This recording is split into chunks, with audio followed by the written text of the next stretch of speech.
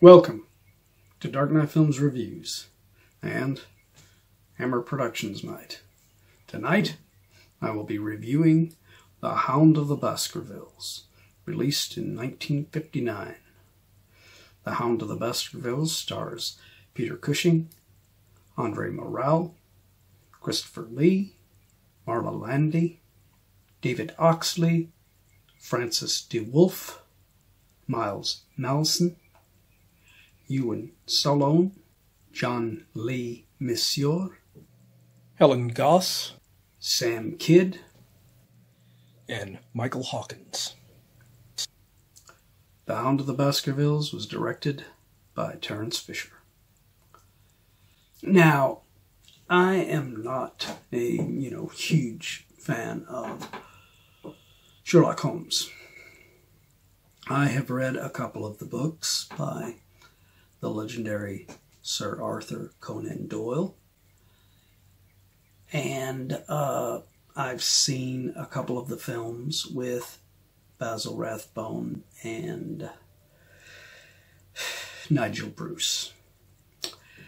I just wasn't impressed with those films. Um, the acting by um, Basil Rathbone was amazing, but the comical goofball sidekick that they made Watson in um, those old movies with um, Nigel Bruce just playing him as a buffoon, I didn't care for that. Um, it was far cry from the actual novels, the way that Sir Arthur Conan Doyle had created this character. So, you know, when they did the Robert Downey Jr. movie, I mean, I, I liked it. It was a pretty good little action variation on um, those Arthur Conan Doyle novels. But this film is a Hammer version of um, Sir Arthur Conan Doyle's character, and much like everything else this company ever put out, and being directed by the great Terence Fisher, it is quite an incredible Sherlock Holmes movie. Might be my favorite portrayal of Sherlock Holmes on film. Peter Cushing playing Sherlock Holmes is pretty damn good in here, but I've said it in the past, Peter Cushing was great in everything he was in. It just pisses me off to no end that today's um, audiences only seem to know of Peter Cushing as Grand Moff Tarkin in Star Wars. He is so much more than just Star Wars. Um, so yeah, his Sherlock Holmes is pretty damn good in this. But Andre Morell is really great as Dr. Watson in here. Very much like the Sir Arthur Conan Doyle novels variation of this character. Um, I have talked about Andre Morell before. Um, Plague of the Zombies he was in, and uh, he was in a film that I plan to review later um, on Hammer Productions Night called Shadow of the Cat. And uh, but he is a really, really solid character actor, and his Dr. Watson. To I believe, I did not time this, but I believe he has more screen time in this film than Peter Cushing's Sherlock Holmes. And uh, I even I even think uh, Christopher Lee's uh, Sir Henry Baskerville in this has uh, more screen time possibly than uh, Holmes does. Maybe. I, like I said, I haven't timed this, so I can't say it for a fact, but um, it just seems like they both had more time on screen than Holmes. Holmes is introduced at the beginning of this film after a flashback scene detailing um, Sir Hugo Baskerville, uh, played by David Oxley. Um, and his little performance there was really over the top, and uh, I was questionable about this film at that point. But as soon as it goes to Holmes in the more um, present day the, in this storyline, um, man, is Cushing's performance good in this, as is Andre Morell, like I said, as uh, Dr. Watson in this scene. The character of Dr. Richard Mortimer is the one that was telling the story to um, Holmes and Watson. Um, he was played by an actor named uh, Francis de Wolff, and uh, he does a really good job in this too, as well. He, he has quite a few little scenes in here off and on, and uh, he's quite good in all of his scenes. He's really a good actor in this, um, and I really like the character of uh, Dr. Mortimer. Um, but he sets it up to where Holmes agrees to take the case and meet with um, Sir Henry Baskerville, the uh, cousin of the Baskerville family after the death of um, the latest Baskerville. And he's coming in basically to try and take over, I guess, the um, family lineage, even though all of them have been dying in mysterious ways um, since um, Hugo. And it's like a curse on the Baskerville family. And uh, after a really good introduction to Henry Baskerville, um, Christopher Lee's character here, um, who surprises me in this film because he is not playing a bad guy.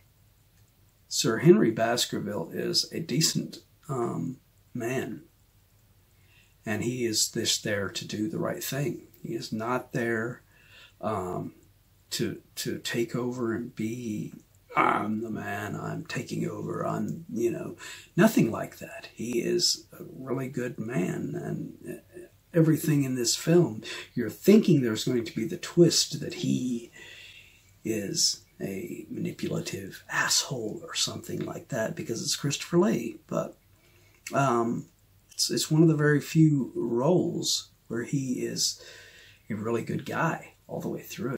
But I love the scene where he first meets Holmes and Watson and he mistakes them for hotel management.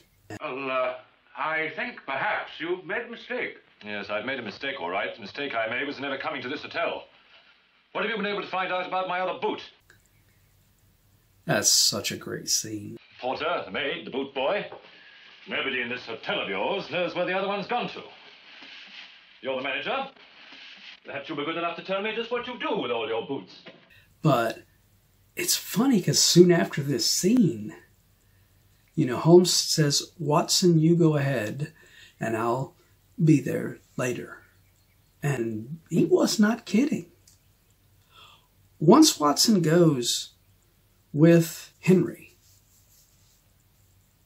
to the Baskerville um, family home or whatever, mansion or whatever you want to call it, um, we are following Watson for a good uh, 30 minutes, I believe, um, of runtime. It is all about Watson. And then finally, uh, Holmes shows up. Holmes, I repeat, why have you left Sir Henry alone? Dr. Mortimer is with him. Forgive me if my dramatic entrance startled you. Well, it's good to see you again, Watson. It's been rather lonely up here. Which is why I say I, I, I believe Watson, you know, Andre Morell's Watson might have more screen time in this than Holmes. Um, but once he does show up there, um, Holmes is really good, really well done by Cushing as usual. Um, now, Marla Landi playing uh, Cecil Stapleton. She is really good in some sequences in which she in, in the first scene she's introduced, she almost causes poor Watson to sink down into a moat and die because of her ignorance, um, running away from him like he's a threat to her or something. Um, and then later on, when she meets Henry, she almost does the same thing. Um, and you're wondering what the hell is wrong with this character. And uh, it turns out her uh, father, Stapleton, um, played by Ewen Solon, is uh, really controlling and uh, I'm not going to spoil um, anything near the end of this for you too much right now, but if you want to see this movie, go watch it so that anything I say later in this review will not spoil it for you. All right, so um, Stapleton seems like this controlling jackass of a father. And it looks as though um, Cecil is going to become a romantic love interest to Henry. And all the while, Holmes is slowly but surely figuring out uh, the mystery of if there is truly a mysterious hound of the Baskervilles that is killing off the bloodline of Hugo Baskerville. Now, here's the here's the uh, spoiler stuff. So if you want to see this, go watch it. Go watch it right now, and then come back and finish my review. Okay. All right. There's your warning. All right.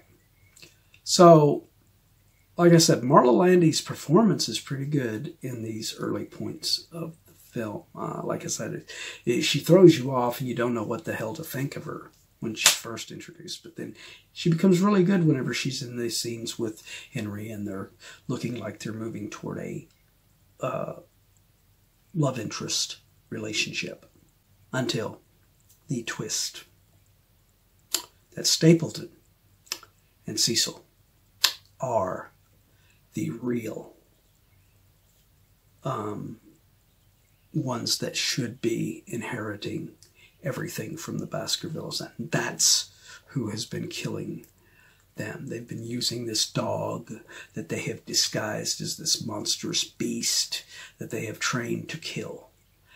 Marla Landi's performance in these moments when she is revealed to be working with Stapleton with this fake monster hound from hell. She goes a little over the top, I believe, in her performance. Swine! You thought it was going to be easy, didn't you? Didn't you? You won't be the first of your family who thought that and you won't be the first to die because of it. But other than that, I think um, this is one of the best um, Sherlock Holmes films I've ever seen. Best. I think it's one of the best adaptations of Sir Arthur Conan Doyle's character um, from the novel to the screen. Um, I will give The Hound of the Baskervilles 1959. I will give this film a 9.9 out of 10. I think uh, the Marla Landi Cecil um, end moments kind of just bring it down just slightly. Had that not been so over the top, this would have been easily a 10 for me. But what have you seen this film? What do you think of The Hound of the Baskervilles? If you have not seen this film, as my review made you want to see it, did it make you want to go see it and you actually left my review and watched it and then came back to this review? Let me know in the comments down below. And, as usual, do not forget to like, share, and subscribe because it really does help this channel out a lot. Anyway, that is the end of another Hammer Productions night. I hope you will join me tomorrow as we go into another action movie night. I hope to see you then. Thanks for watching.